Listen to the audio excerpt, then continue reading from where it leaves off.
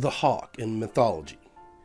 Given that we will spend time discussing both Ra and Horus of Kemetic beliefs in another episode, I want to just look at some of the other representations of the hawk in other belief systems. In Arab mythology, there was Anke, who was a beautiful, colorful bird of prey regarded for her wisdom and moral advice. She ate nothing but elephants and large fish. In Greek mythology, the Greek god Apollo used a hawk as his messenger and often turned into a hawk himself. Some of his priests were even known as hawk keepers, and their sacred duties including caring for the god's birds. Circe of Greek mythology is also associated with the hawk. Some historians believe that her name, Kirkos or circle, comes from the hawk's spiraling flight pattern, and many call her the circling one or she falcon. It is her in the Odyssey who transforms Odysseus' crew into a group of hogs. In Jewish mythology, Bar Juchne is a colossal legendary raptor and was said to have a wingspan so large that it blocked out the sun.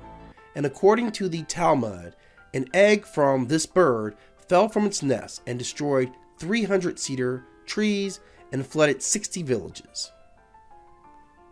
Fintan the Wise of Celtic and Irish mythology survived the Great Flood by transforming first into a salmon, then into an eagle, and last into a hawk. As he is known as the Wise One, he is revered as a seer, knowing and understanding all the history of Ireland. Garuda of Buddhist beliefs are known as golden winged birds and considered to be the lowest of the devas. They have kings and cities, along with magical powers that allow them to change into human forms, and they live in groves of silk cotton trees. Kahu, the swamp hawk, also known as the swamp harrier and Australian marsh harrier, is a bird of prey that often appears in Aboriginal mythology. Karura, the golden wing bird from Japanese mythology, is the equivalent to Hinduism's Garuda.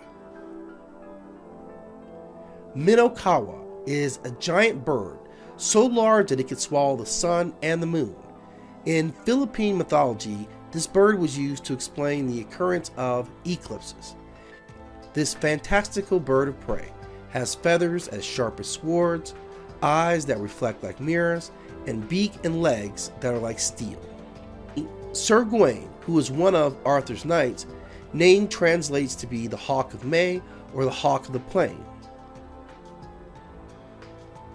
The Bunjil creator deity and hero often takes the form of the eagle hawk. His name is also recorded to be as Wing Eel, Bunja, Punjel, Punjil, and one of his legends tells that a great wind blew him and his people into the sky, where he became the star Altair, and his wives became the stars on either side.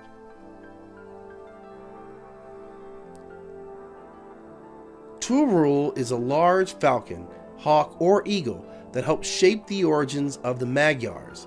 Today, it is the national symbol of Hungary and is considered to be the ancestor of Attila the Hun. The Thunderbird in Native American mythology, as in the Algonquin myth, the Thunderbird controls the upper world, while the panther and great horned serpent control the underworld. And in other myths, the Thunderbird not only fights the underworld spirits, but also punishes humans who break moral codes. According to the Menominee, the Thunderbirds dwell on a great mountain in the western sky. They control the rain and the hail and are messengers of the great sun. In other tribes, such as the Ho Chunk, a man who has a vision of a thunderbird during a solitary fast will become the war chief of his people. Vedrfolnir is a hawk who sits between the eyes of an eagle in the crown of Yggdrasil, the world tree of Norse mythology. His name translates as storm pale, wind bleacher, or wind weathered, and he flies about seeking and bringing back knowledge to his people. The hawk has a prevalent identity in modern mythology as well. with many characters being presented by both the large comic book writers of our day Hawkman, who dates back to 1941, but also Hawkgirl and Hawkwoman, Firehawk and Blackhawk, and Lady Hawk as well. In Marvel Comics, there is Hawkeye, Starhawk, Darkhawk, Evilhawk, and Nighthawk. And the hawk remains prevalent in both ancient and modern mythological tales.